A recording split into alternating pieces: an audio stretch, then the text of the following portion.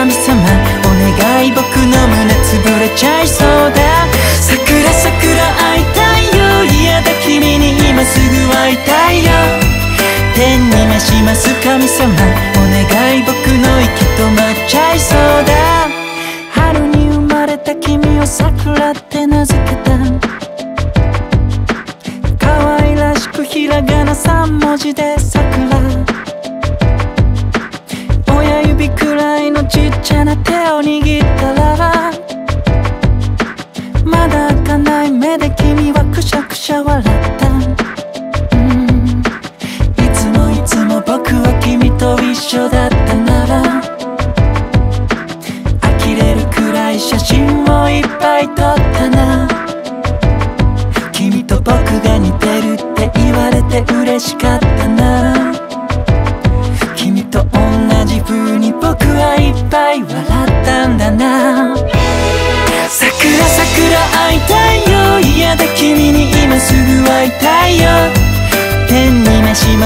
様お願い僕の胸潰れちゃいそうだ。桜桜会いたいよ。嫌だ君に今すぐ会いたいよ。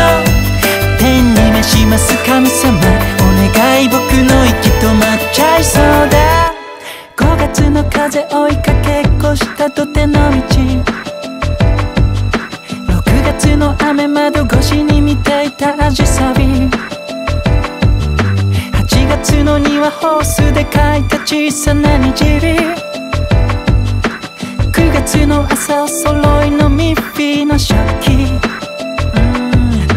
1月の雪毛布にくるまっていた君。2月の星遠くをじっと見ていた君。3月の街背中が大きくなった君。月の夢毎年祝った誕生日桜桜会いたいよ嫌だ君に今すぐ会いたいよ。天に召します神様お願い僕の胸潰れちゃいそうだ桜桜会いたいよ嫌だ君に今すぐ会いたいよ天に召します神様お願い僕の息止まっちゃいそうだ。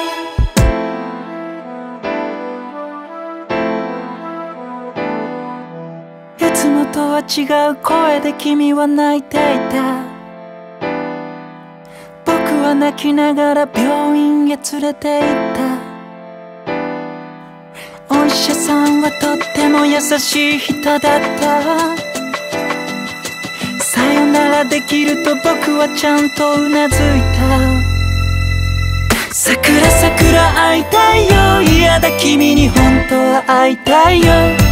天に召します神様お願い僕の瞳濡れちゃいそうだ桜桜会いたいよ嫌だ他に何にもいらないよ天に召します神様お願い僕の心消えちゃいそうだ消えちゃいそうだ桜桜会いたいよ嫌だ君に今すぐ会いたいよ天に召します神様